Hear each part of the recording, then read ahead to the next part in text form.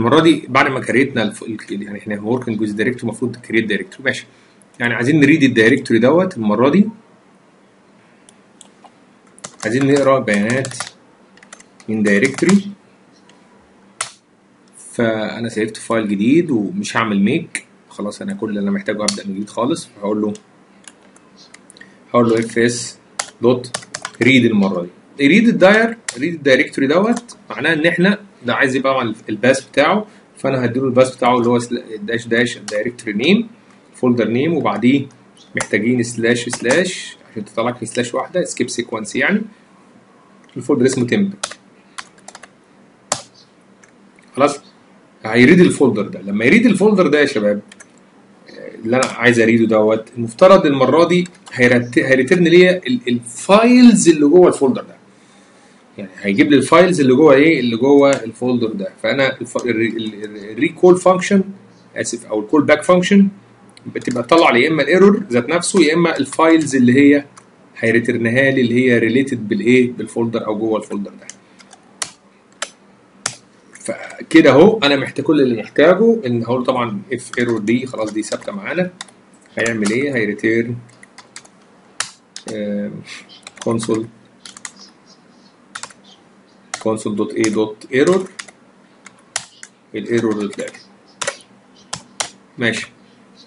دي في حالة إن في error طب ما فيش error عايز أعمل loop ببساطة إن أنا ا loop وأطبع الإيه؟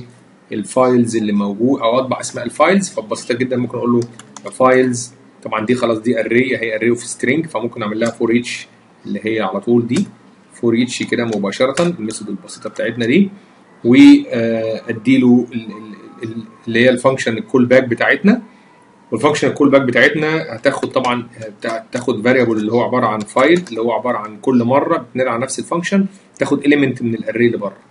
element يعني عنصر واحد من ال array اللي إيه؟ اللي بره. هعمل إيه جوه ال callback function دي؟ هطبعه ولا هعمل له أي حاجة؟ مش فارق معانا.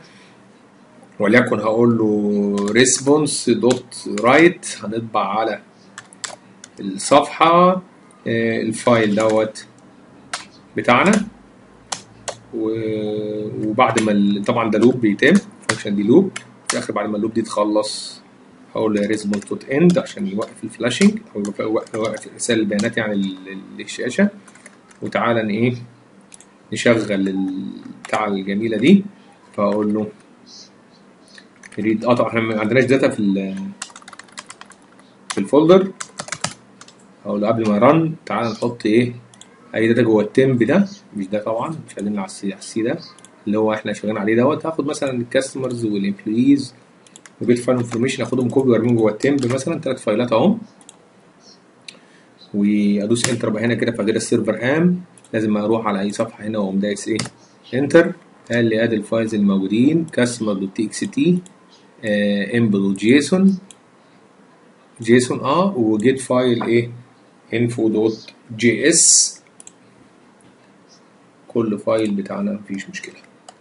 مثلا slash n كده عشان نعملهم على سطر. عملهم لي كل واحد على إيه؟ على سطر زي ما إحنا شايفين كده.